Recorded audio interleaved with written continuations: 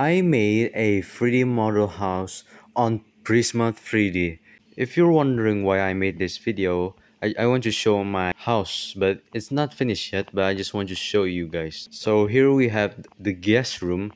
Well, there's nothing much about the guest rooms, only like two sofas and one small table. Here we have the bedroom, which is not finished as well. Here we have the bed and a gaming chair which is almost finished. I just need to add the wheels.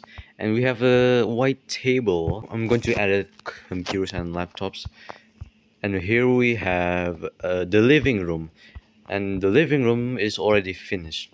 And let's watch a tv shall we